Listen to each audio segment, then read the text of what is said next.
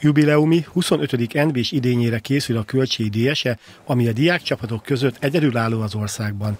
Az elmúlt negyed században jó néhány élvonalbeli, sőt válogatott játékos is nevelkedett Hadobás István kezei alatt, akinek gyakorlatilag minden nyáron új csapatot kell építenie, mivel az érettségizők közül mindig vannak távozók. Nem volt ez másként az idén sem. Sajnos komoly változások történtek, és komoly vérveszteségeink is vannak. Részint két játékosunkat, Ruska Zsófiát és Papandreát megműtötték, térd probléma mind a kettőnél, úgyhogy ők néhány hónapra kiestek, és hát a tanulmány és egyéb elfoglaltságok miatt nagyon komoly potenciális játékosainkat veszítettük el.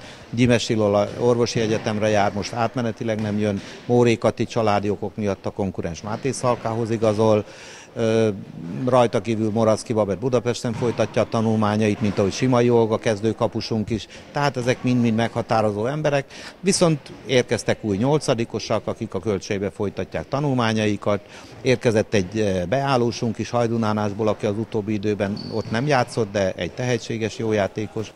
A csapat augusztus 10-én kezdte el a munkát, amelynek az elmúlt egy hét volt a legkeményebb időszaka, ugyanis napi 5 órát edzettek a játékosok. Kelemen Gréta a tizedik nyári felkészülését végzi a kölcseiben. Ez mind közül szerintem a legkeményebb eddig. Napi három edzést tartunk, reggel futóedzés, kondiedzés, 10 órától pedig labdás, és ez is inkább kondi, mert medicinlabdával, 3 kilós medicinlabdával, meg 1 kilós medicinlabdával dolgozunk.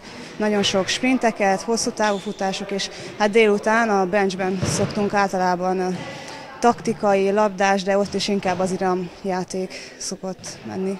A költsége a hétvégén Máté Szalkán vesz részt egy felkészülési tornán a házigazda és a Debreceni csapat társaságában. Az NB2-es szezon szeptember 21-én hazai pályán a Bencsiskola csarnokában a Hajdúböszörvény ellen kezdi majd Hadovás István együttese.